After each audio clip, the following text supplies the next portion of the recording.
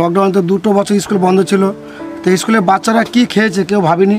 এবং আমি যে স্কুলে পয়সা, আমার বাড়ি ঘর ছেলে, সবাই আমার স্কুলে পয়সা তো আমি সাতটা দিন আমি দাদা একদম পুরো না খাওয়ার মতো অবস্থা ছিলাম এবং বাড়ি থেকে পালিয়ে বলতে গিয়েছিলাম। কান্না আসে বলতে, ঠিক আছে? তো খেতে পারিনি, সাত দিন পুরো একদম মানে না খাওয়ার মতো অবস্থা ছিলাম। তো কারও কাছে পাঁচ পয়সা আমি চাইনি, ঠিক আছে? কেউ মানে একশো করে মুড়ি দিয়ে সাহায্য করেনি। ছেলে মেয়ে নিয়ে মনে মরে যাওয়ার মতো গলায় দই দিয়ে মরে যাওয়ার মতো অবস্থায় ছিলাম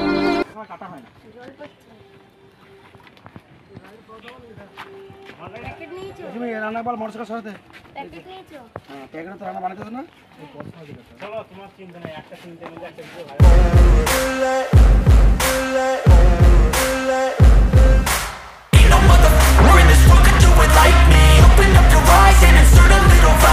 দশ টাকা বিরিয়ানিতে একশো দশ টাকা কিলো চাল। বিরিয়ানি টোটাল স্যালাড কাটা আছে গাজর শসা পেঁয়াজ। বিরিয়ানি প্রসেসিং চলছে আর সামন কাকু বিরিয়ানি প্রসেসিং করছে এখন এখানে।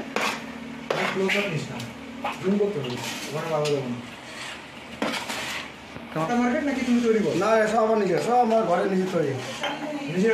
সব আমি তৈরি। না না সব মিক্সার মেশিন পেশ আচ্ছা আচ্ছা। এখন কাকু এখানে গরম মশলা অ্যাড করল। নিজস্ব মশলা যেহেতু বিরিয়ানি এটা গরম মশলা এর এত সুন্দর একটা গন্ধ লাগছে। এটা শেয়ার করতে পারছি না তোমাদের সাথে গন্ধটা কিন্তু তোমাদের দেখাতে পাচ্ছি কীভাবে বানানো হচ্ছে। দেখো চিকেনগুলো এরকম রয়েছে। এরকম সাইজের চিকেন এক একটা সব রয়েছে, দেখ- ভালো করে। এটাকে পুরো চিংড়ি এই চিকেনটা দেখো চিংড়ি মাছ মতো দেখতে লাগছে। এটা রয়েছে হচ্ছে গ্রেভি এই হচ্ছে আলু, আর এই হচ্ছে একদম আমাদের ভালো না বেরেস্তা যাকে বলে। তাই তো?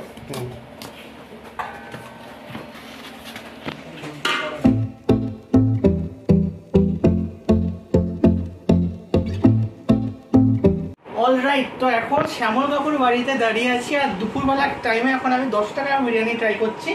সর্বসাধারণের জন্য হচ্ছে কুড়ি টাকা আর স্কুল স্টুডেন্টের জন্য হচ্ছে দশ টাকা। এখানে তিনটে প্লেট আছে আমাদের একটা সাজানো প্লেট আমি তুলে নিই।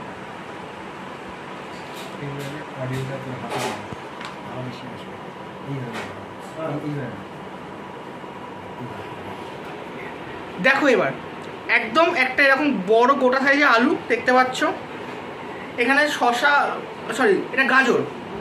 এটা একটা পেঁয়াজ, এটা একটা শশা এরকম সাইজের চিকেনের পিস টোটালি সলিড কোনো হাড় নেই, দেখতে পাইনি।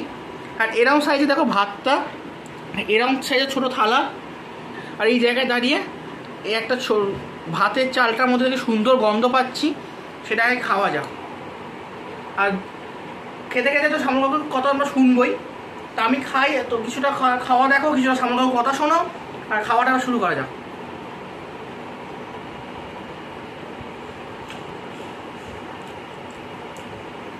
বেশ ভালো খেতে হয়েছে, একটু ঝাল লাগছে আমার।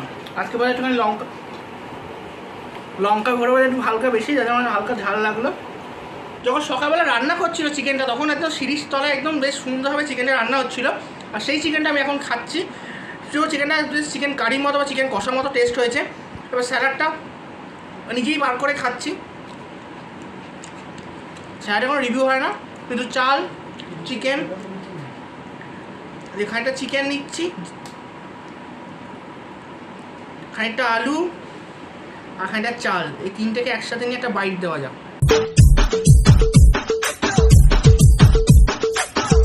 এই হচ্ছে শ্যামল কাকু, আর এনার বাড়িতে এখন এই ঘরেই আছি। তোমার রান্না খেতে খুব ভালো হয়েছে, আমার খুব ভালো লেগেছে, কিন্তু একটু হালকা ঝাল লাগল। তোমার কি লঙ্কার গুঁড়ো ঝাল হয়ে গেছে না? না, এটা হচ্ছে কাশ্মীর লঙ্কা, হালকা একটুখানি মানে লঙ্কা কালারটা আসার জন্য চিকেনটা দিতে হবে। আচ্ছা কালার আসার জন্য দিতে হয়, কিন্তু চিকেনের টেস্ট ভালো, চিকেন নরম হয়েছে, আলুও নরম। খুব জোর খিদে পেয়ে গেছিল, যেহেতু আশেপাশে দোকান খুঁজে পাইনি, আর সামগ্রিক বাড়িতে ছিলাম, আর বিরিয়ানি সবে বানানো হয়েছে এইট্টি পার্সেন্ট লোভ সামলাতে না পেলে আমি চেয়েই ফেললাম বিরিয়ানি হাতে নিয়ে দাঁড়িয়ে আছি। খাওয়া দাওয়া তো কন্টিনিউ চলেই, আর এই মানুষটির সাথে আমি সামান্য খাওয়া দাওয়া পর কথোপকথন শুরু করব। তিনি সকাল থেকে কাজ করেছেন তার ব্যস্ততার জীবনে ছোটো টাইম আমি নিয়ে নেব, তার মূল্যবান সময়টুকু। তিনি সেই সময়টুকু আমাদেরকে দেবেন। তো বাড়িতে কাটানোর পর এখন দোকানে এসেছি যেখানে একদম প্রপার লোকেশানটা গাড়ি যাচ্ছে প্রপার লোকেশনটা হচ্ছে পানুহাট। এখানে আছে পানুহাট বগলা স্টেশন ডিপোর সামনে। এই পানুহাটে কাকার একদম দোকানে স্টল লাগিয়েছে।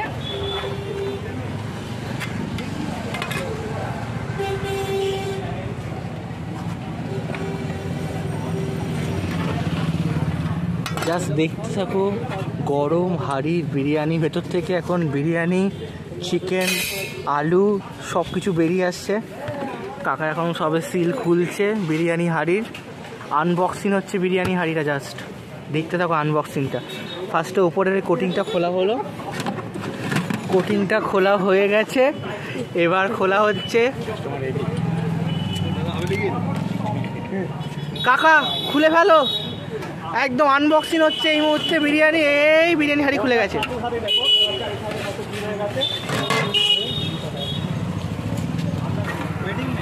একদম দেখো কাকার বিরিয়ানি জাস্ট আনবক্সিং হয়ে গেছে। এবার বেরিয়ে আসছে চিকেন আলু, এই যে কাকা তুলছে।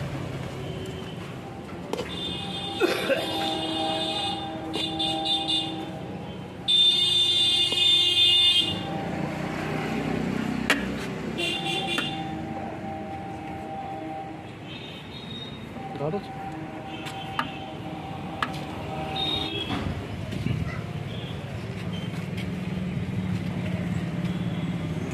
শ্যামল কাকু তো হ্যাঁ আমার নাম শ্যামল দেবনাথ। শ্যামল দেবনাথ একদম কাটোয়া গ্রামের একটা জায়গায় দাঁড়িয়ে স্কুল বাচ্চাদের জন্য দশ টাকাতে বিরিয়ানি আনেন লকডাউনে ভাবনা লকডাউন পড়ার সেই ভাবনা চিন্তা থেকে। একদিন দেখলাম হট করে স্কুলটা খুলে গেল।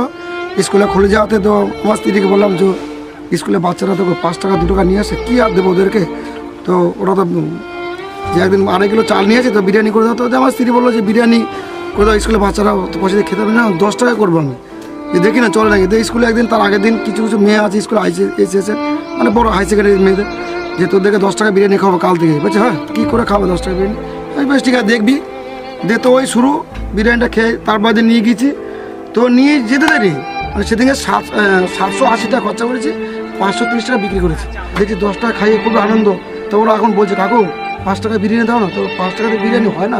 তো আমি দাদা ওইটাই চাই, দাদা, আপনার কাছ থেকে দেখ, এই বিরিয়ানি দাদাকে খাইছি তো তোরা খা, তোদেরকে আমি দাদার কাছ থেকে দিদি, যেদিন আসব সেদিনে বিরিয়ানিটা পাঁচ টাকায় খাওয়াতে চাই বাচ্চাদেরকে। এবং চাউমিন পাঁচ টাকা তো আছেই আমি এইটুকুনি আমার বলো আমার কিছু আমার শুধু একটা ইচ্ছা, আমি একটা দাদার কাছে যেতে করুন না। এই মেয়েটার জন্য হলো। Thank you